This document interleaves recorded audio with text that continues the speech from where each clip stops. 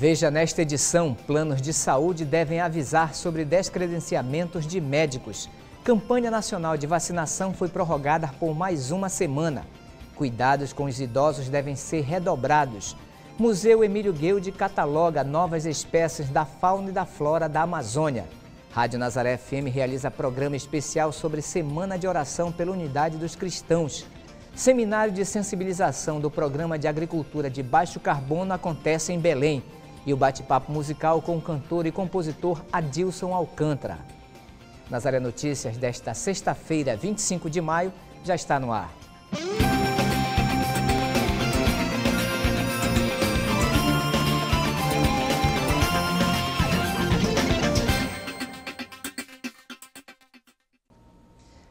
Dar estabilidade às redes credenciadas dos planos de saúde e garantir a qualidade do atendimento aos clientes são os principais objetivos do projeto de lei aprovado pela Justiça. Conheça melhor os direitos que você tem em relação aos planos de saúde.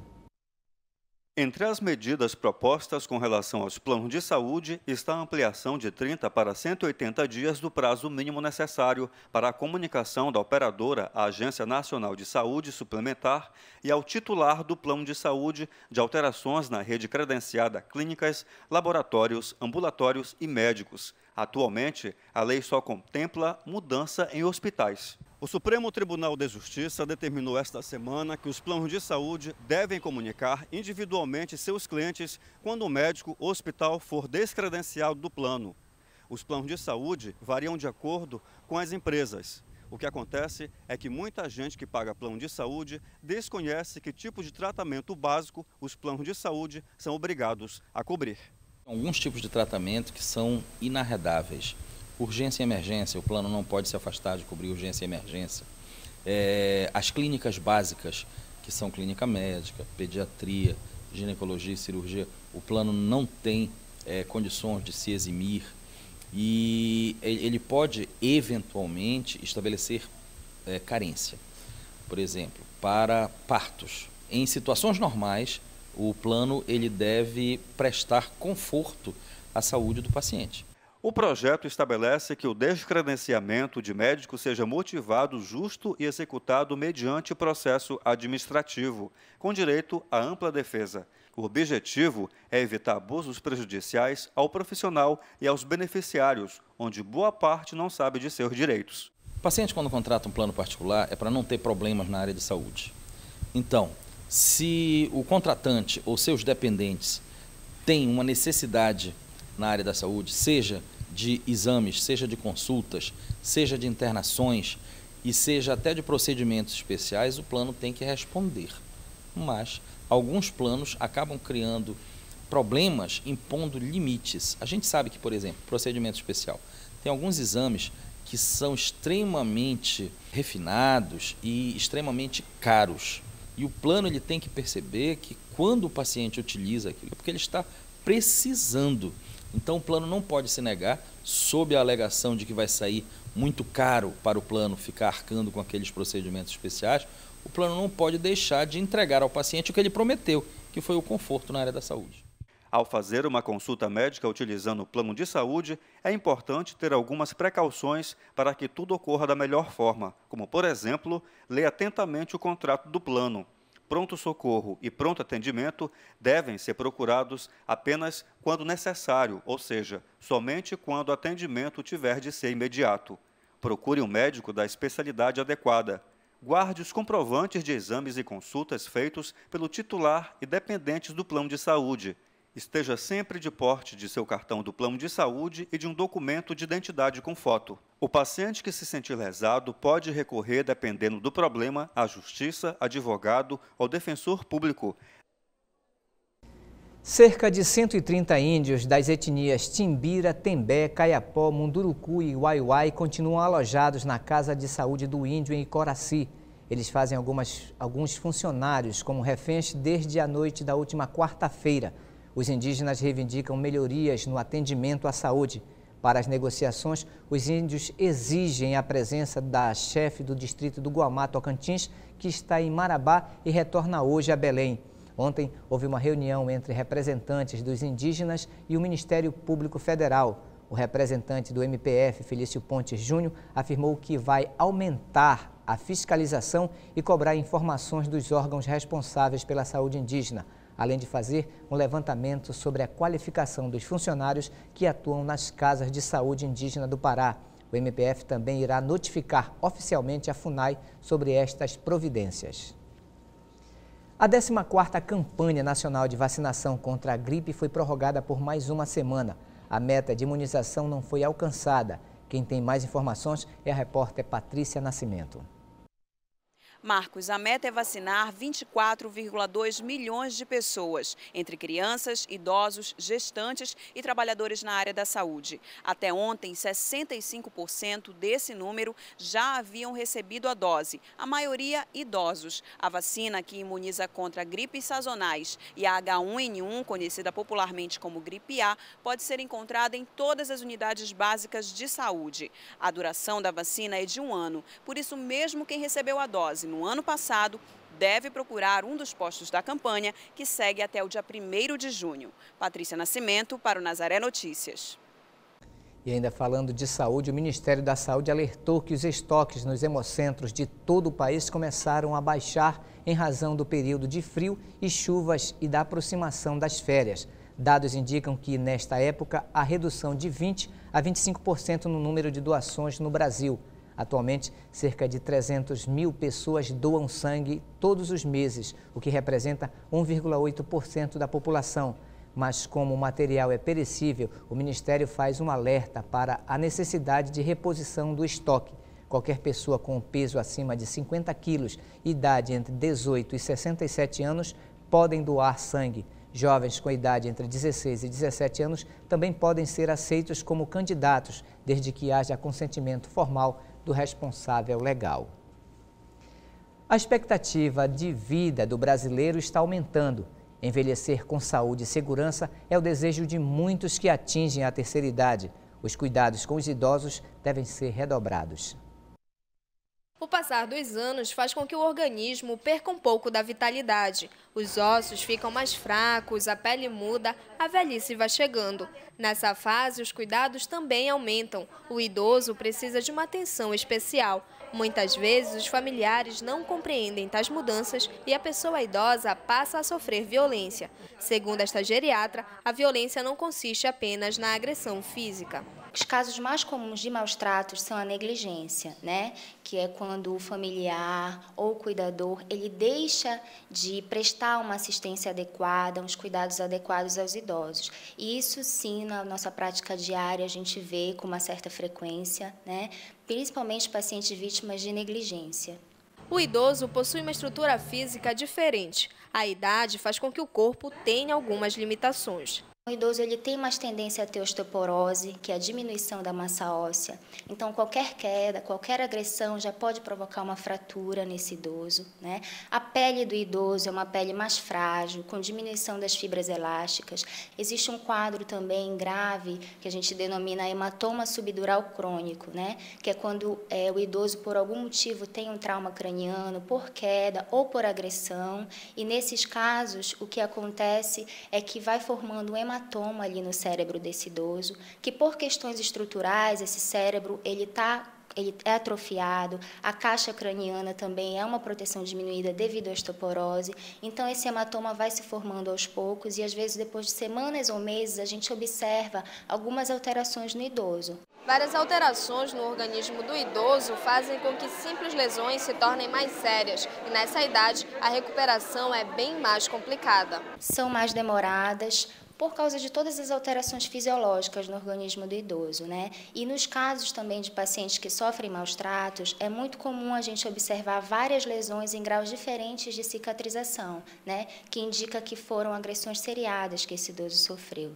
Ao perceber sinais de agressão, os profissionais da saúde fazem a denúncia. Segundo Taíla, mais de 90% das agressões acontecem no ambiente familiar, o que dificulta as denúncias por parte da vítima o cuidado, é, o amor, todo esse, esse tra trabalho no dia a dia né, com esse idoso é fundamental para que esse idoso se recupere, para que esse idoso tenha uma velhice realmente mais, com mais qualidade de vida. A maioria das agressões acontecem dentro do convívio familiar. Por pessoas das quais o idoso mais necessita apoio. É nessa fase da vida que a família deveria realmente ser família. 90% dos casos de agressão são de algum familiar. Isso prejudica a denúncia, porque o idoso ele não vai denunciar o filho, ou a nora, ou o cônjuge. Então, esses dados que a gente tem até às vezes são subestimados. Né? Infelizmente, é uma realidade. E o principal local em que esse idoso é agredido é em casa, é no domicílio. A partir deste ano, todos os participantes do Exame Nacional do Ensino Médio poderão ter acesso às redações corrigidas. A mudança foi anunciada nesta quinta-feira pelo Ministério da Educação e está prevista em acordo firmado com o Ministério Público Federal. O novo edital do Enem não prevê que o estudante recorra da nota obtida. As inscrições para o Enem 2012 ficarão abertas a partir da próxima segunda-feira até 15 de junho. A prova ocorrerá nos dias 3 e 4 de novembro. O gabarito da prova será divulgado no dia 7 de novembro e o resultado em 28 de dezembro. A prova será aplicada em 140 mil salas de aula. O Enem é usado por universidades públicas para o ingresso de estudantes na graduação. O exame é utilizado ainda como pré-requisito para o aluno ter acesso ao FIES e ao ProUni. De 2000 até 2011, o Museu Emílio Guilde catalogou 130 novas espécies de fauna e da flora da Amazônia. A lista está disponível no Centro da Biodiversidade. De 2000 até 2011, pesquisadores encontraram 130 novas espécies da fauna e da flora da Amazônia. Essas espécies foram catalogadas e estão disponíveis no Censo da Biodiversidade. Os estudos realizados nesses 11 anos de pesquisa apontam que uma em cada quatro novas espécies estão ameaçadas e a maioria é encontrada em espaços de conservação. A Amazônia é uma região imensa, é mais de 60% do território brasileiro e a gente ainda não conhece toda a riqueza é, da biodiversidade, todos os recursos genéticos que ela abriga. O Censo da Biodiversidade apresenta dados de todos os estudos que existem sobre a fauna e a flora da Amazônia. O Censo da Biodiversidade é um projeto do Museu Guild, onde a gente está disponibilizando publicamente informações sobre a nossa a riqueza da biodiversidade da Amazônia. Né? O Censo da Biodiversidade ajuda a descobrir que espécies serão afetadas, por exemplo, na construção de uma usina hidrelétrica em uma determinada região. É um conhecimento científico e seguro que ajuda a descobrir se essas espécies estarão ou não ameaçadas. O Museu Guild tem essa missão de descrever a biodiversidade da Amazônia, é, tanto no sentido de poder da gente poder estar conservando quanto para o próprio uso dessa biodiversidade, porque a gente não pode nem conservar e nem é, utilizar aquilo que a gente não conhece. As informações são científicas, atuais e seguras, disponibilizadas ao público no site do Museu Emílio Guilde com uma linguagem simples e acessível. A população tem que estar muito atenta às ameaças que, que a gente que a biodiversidade vem sofrendo, porque na verdade a biodiversidade ela é responsável por, pelo nosso modo de vida. O ar que a gente respira, o que a gente come, tudo vem da biodiversidade, tudo, todo o planeta é moldado pela biodiversidade. E se essa biodiversidade está ameaçada, nós estamos. A comissão de juristas formada pelo Senado para reformar o Código Penal aprovou nesta quinta-feira propostas que tornam mais rígidas as penas para quem desrespeita os direitos autorais. Mas, em um ponto, a mudança ocorreu em sentido contrário. A proposta aprovada permite que uma pessoa tire cópia integral de uma obra intelectual, como um livro, desde que seja para uso pessoal. A legislação atual permite apenas cópia parcial em toda a legislação sobre direitos autorais, a pena mais alta hoje é de quatro anos de prisão. A proposta aprovada pela comissão aumenta para cinco anos. E você acompanha ainda nesta edição. Rádio Nazaré FM realiza programa especial sobre a Semana de Oração pela Unidade dos Cristãos. Seminário de sensibilização do Programa de Agricultura de Baixo Carbono acontece em Belém. E o bate-papo musical com o cantor e compositor Adilson Alcântara.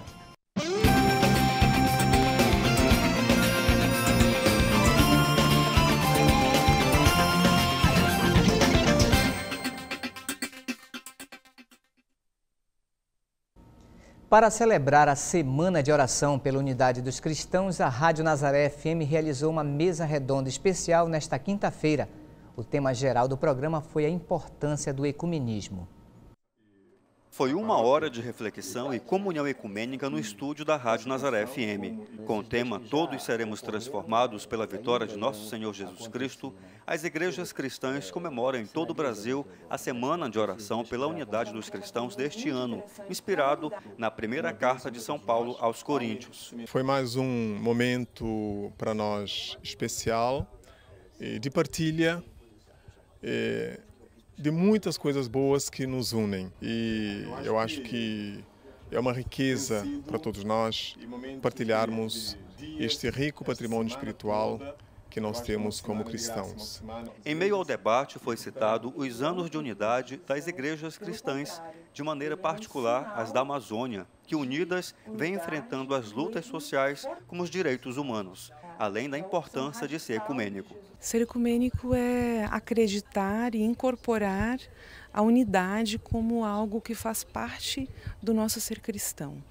Ser ecumênico é gostar de encontrar um irmão, uma irmã de uma outra igreja, é respeitar as igrejas cristãs que existem, é sentir essa alegria de vivermos nessa grande comunidade cristã que está ao nosso redor. As igrejas cristãs se preocupam pela falta de ecumenismo na sociedade, provocada por alguns fatores. A violência é fruto dessa falta do ecumenismo, é a falta do diálogo, é a falta do reconhecimento da pessoa do outro como imagem de Deus, como, como um ser que é igual a você, que é igual a mim, não é? Quando a gente perde esse horizonte, perde esse sentido, a gente desconhece o outro. Então, eu acho que a violência é um dado muito interessante na ignorância do ecumenismo, né? O ecumenismo, na verdade, ele é a manifestação de uma busca verdadeira para a unidade. Eu dizia aqui, agora há pouco no programa, que o ecumenismo ele tem essa, essa singularidade de irmãos que buscam é, uma luta contra a divisão. E divisão é fruto do pecado. Para o jornalista Wilson Reis, apresentador da Mesa Redonda, um momento especial. Com certeza, a Rádio Nazaré, enquanto emissora oficial da Igreja Católica da Igreja de Belém, ela tem essa linha de prestar serviço à comunidade. E quando ela abre os microfones para contemplar essa relação do ecumenismo, é um pedido também dos nossos bispos que estão envolvidos nesse trabalho, nesse diálogo é, ecumênico e interreligioso. Então, toda uma orientação que rege o nosso trabalho na comunicação aqui e a Rádio Nazaré contribui para que haja então essa comunhão em busca da unidade entre as igrejas cristãs. A imagem original de Nossa Senhora de Nazaré irá descer do Glória na Basílica Santuário na próxima segunda-feira para ficar mais perto dos fiéis. A descida acontece somente duas vezes por ano, no aniversário da Basílica, que neste ano comemora seis anos de elevação a santuário, e durante a quadra nazarena, em outubro. A programação de aniversário se estende por toda a semana e inclui também a apresentação do cartaz do Sírio 2012 na próxima quarta-feira. A imagem de Nossa Senhora de Nazaré ficará no altar até o dia 31 de maio, quando termina o mês mariano, com uma missa solene presidida pelo arcebispo de Belém, Dom Alberto Taveira. Aconteceu em Belém o seminário de sensibilização do Programa de Agricultura de Baixo Carbono. A repórter Patrícia Nascimento tem mais informações. Marcos, quem vai explicar um pouco mais para a gente sobre o programa Agricultura de Baixo Carbono é o secretário estadual de Agricultura, Ildegardo Nunes. Olá, secretário. É, o que, em que consiste o programa Agricultura de Baixo Carbono? Qual é o seu objetivo? Bom, primeiro, o programa ABC nasceu do compromisso que o Brasil firmou na Convenção de Copenhague de reduzir a emissão de gases de efeito estufa em mais de um bilhão de toneladas. E, naturalmente, a agricultura tem a sua participação e a sua contribuição a trazer a esse objetivo nacional. O programa uh, foi constituído nacionalmente. Uh, é preciso que cada estado possa aderir ao programa. E isso começa uh, com a formação e a constituição do Comitê Estadual do Programa ABC, o que já fizemos no estado do Pará. Estamos fazendo a segunda etapa agora, que é o seminário de sensibilização para divulgar o, o plano e mostrar ah, que componentes eh, podem ser trabalhados. Teremos na sequência um conjunto de oficinas que vai detalhar cada um dos capítulos relativos à produção agropecuária e, ao final, termos um plano estadual eh, de agricultura de baixo carbono. Agora, todos os municípios do estado estão inseridos nesse programa. Como é que vocês já estão pensando esse planejamento? Bom, o esforço é de ter o Pará como um todo. Naturalmente, o recorte não é municipal, ele é um recorte da produção. E nós vamos precisar ter uma ampliação de capacitação dos nossos técnicos e depois dos produtores, para que nós possamos difundir essas novas práticas, mostrar as vantagens de ter uma agricultura mais eficiente e com baixa emissão de gases e, acima de tudo, com um crédito diferenciado. Agora, a gente pode falar de metas desse programa? Tem, o Brasil tem essa meta de um bilhão. A agricultura deverá responder com algo em torno de 150 milhões de toneladas, é a contribuição da agricultura para esse processo. E, naturalmente, nós queremos que o Pará possa ter a sua participação desse, dentro desse conjunto nacional, principalmente com a intensificação da atividade pecuária, melhorando a sua produtividade. Certo, muito obrigada, secretário. Patrícia Nascimento para o Nazaré Notícias. O público belemense poderá conferir uma apresentação especial do grupo Irapuru em comemoração aos 28 anos de formação do grupo. O show tem início hoje às 18 horas na orla do Armazém 3 da Estação das Docas. A entrada é franca.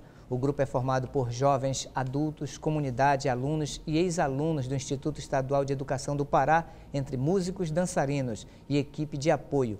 O Irapuru apresentará vários ritmos e danças regionais, entre eles o batuque amazônico, samba de roda, marujada, retumbão, xote e carimbó. Confira agora um bate-papo especial com Adilson Alcântara. Ele nasceu na cidade de Vigia, no Nordeste Paraense, tem mais de 28 an 20 anos de carreira e já apresentou em várias atividades musicais e no projetos culturais no Pará e no Brasil. Cantor, compositor, violinista, intérprete, produtor cultural, natural da cidade de Vigia, com mais de 20 anos de carreira. O nosso bate-papo de hoje é com o cantor Adilson Alcântara. Adilson, são mais de 20 anos de carreira. Como foi que começou essa história? Essa história começou é, umas aulas que a minha mãe tinha de violão, né? Há muito tempo atrás era garoto, tinha 19 anos, hoje já com 42 anos. Profissionalmente comecei a cantar com 20 anos, então já tem uma estrada aí na nossa cidade, algumas partes do Brasil através de festivais de música, que foi fantástico. Uma das coisas boas que tem no Brasil são os festivais de música, que acontecem em todo o país. E a gente sempre é agraciado numa composição para conhecer.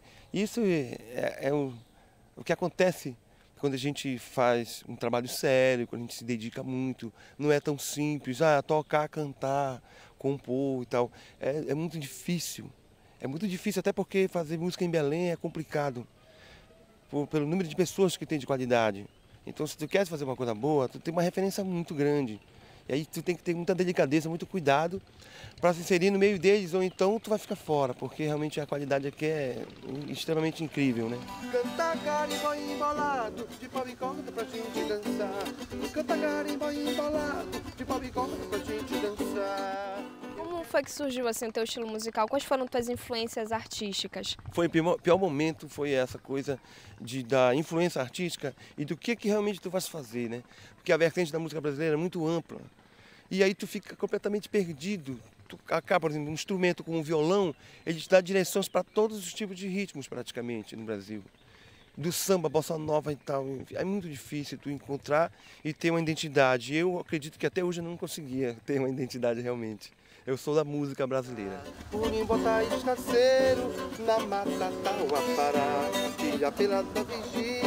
cansou de tanto esperar. escaceiro, na mata. E ao longo desses 20 anos, tem algum momento assim que para você foi memorável, que inesquecível? Tem vários. Tem. Eu lembro muito bem de um momento inesquecível. Na época, já sou da fala de época, porque depois de 20 anos, né? Na época que existia aqueles shows no CAN, na concha acústica do, do CAN, o meu sonho era fazer um show lá. E aí eu era garoto, via o show do Pinduca, via o show da banda Arilu, eu disse, meu Deus, um dia eu tenho que estar nesse lugar. Passou-se um tempo, quando eu me dei conta eu estava no último dia dos fogos fazendo show com Lucinha Bastos. Foi impressionante. Falei isso para a plateia, a plateia aceitou esse momento bonito que eu tive, nós fizemos tudo isso juntos e cantamos grandes canções todo mundo junto. Vamos comemorar essa vitória, que foi uma coisa muito bonita. Agora faz uns sete anos atrás, não sei, faz muito tempo já. Adilson, obrigada por participar do nosso bate-papo, viu? Boa sorte nesse ano de 2012. E o Nazaré Notícias vai ficando por aqui. Tenham todos um excelente final de semana e até segunda-feira. Da chuva da tarde caiu uma manga na minha cabeça. Da chuva da tarde caiu uma manga na minha cabeça. Eu me vivo comendo ela sumando. Antes que eu esqueça, eu me vivo comendo ela sumando. Antes que eu esqueça. Da chuva da tarde caiu uma manga na minha cabeça.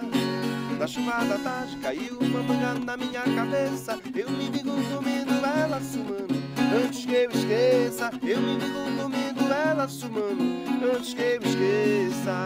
Sai, sai, sai, show, sai urucubaca. Sai, sai, sai, show, sai urucubaca. Seu menino no mangá de mim, a minha fama gata tua foi jaca. Seu menino no mangá de mim, a minha fama gata tua foi jaca.